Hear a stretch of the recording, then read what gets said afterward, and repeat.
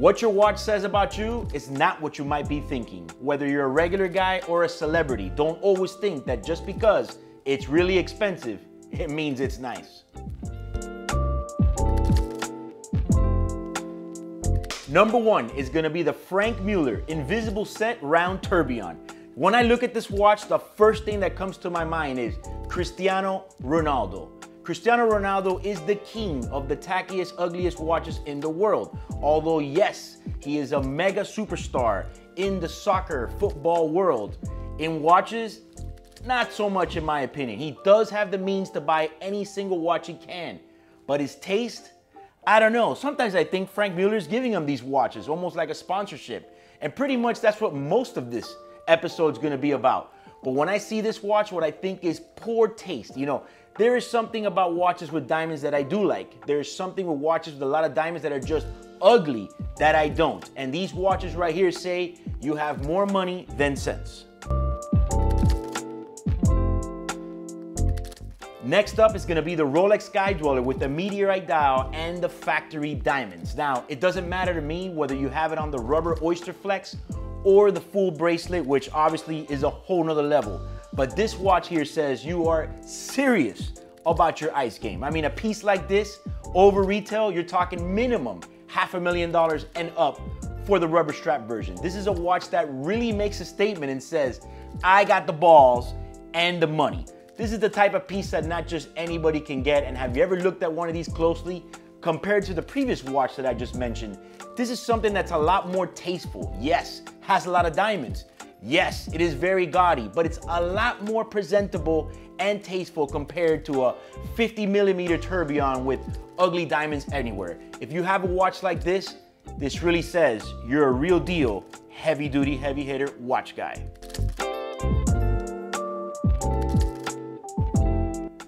Next, we got the Jacob & Co. Epic. Now, I am a fan of the brand. I think that some of the watches that they do are horological masterpieces in the sense that they have a lot of technology and a lot of out of the box thinking. However, whenever I see somebody wearing an Epic, especially the celebrities, the first thing that I think of is they must have given them that watch. I don't know. I just kind of feel that that's a watch that whenever you see a celeb or an A-lister wear, it almost feels like Jacob gave it to them to wear. I don't know. It's just kind of what I think. I mean, even when I've seen a private walk into my place with one of those on, I also think, did they get that one for free as well? Because it just kind of feels like a watch that I do like the way it looks. And I do think that it's a pretty nice watch overall. But it's one of those watches that for some reason hasn't really hit in the market there has not been that like gravitational pull towards it where people just have to buy one. So whenever I see an A-lister wearing one, I think they must have given it to him to wear. Now let's talk about the RM0703. I mean, if you have not looked at this watch, it just looks like a ladies model RM with like a candy cane interior. It's something that's very, very toyish looking. And uh, although in this line of work, you know, anybody is free to wear this watch however they want, uh, whether you're male, female, or whatnot. What I will say is, is that if you are a rapper or in some type of the hip hop industry and you're wearing one of these watches, I would recommend that either A, you switch dealers or B, start buying better drugs. Because in my opinion, I don't see how you can possibly wear one of these watches and think that it's cool. I mean, I'm just being honest here. It looks kind of ridiculous. Yes, I know at that point in the game where they've worn so many watches, you can just pretty much try whatever you want. I also think that there is a lot more models in the brand that you can try out. For example, an RM56. Why not just get that? Of course, because it's $3 million. And last, we have the Gerald Charles watches. I mean, I don't even know where to start with this watch. It's crazy to think that, yes, Gerald Charles is actually Gerald Charles Genta.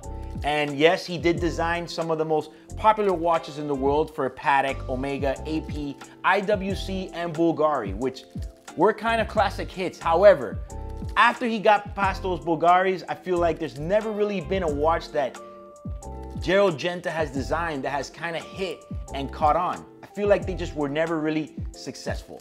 So when every time I see some type of an athlete or a celebrity wearing a Gerald Charles, the only thing I can think of is back to the Jacob Epic comment. It must be given to them as an influencer tool. I just can't see how people are actually calling and buying these watches.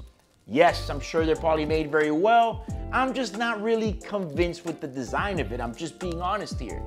I feel like Genta made some of the most popular watches in the world. But yet, when he went to make a watch for himself, it never really caught on. Granted, I will say that this line is the nicest line that I've ever seen come out of him by himself. But every time I see somebody wearing one, I can't help to think, was it given to you just so you can influence?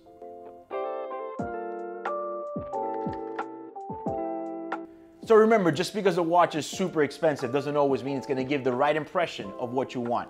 So if you like this video, like and share it. Also, subscribe to my YouTube channel.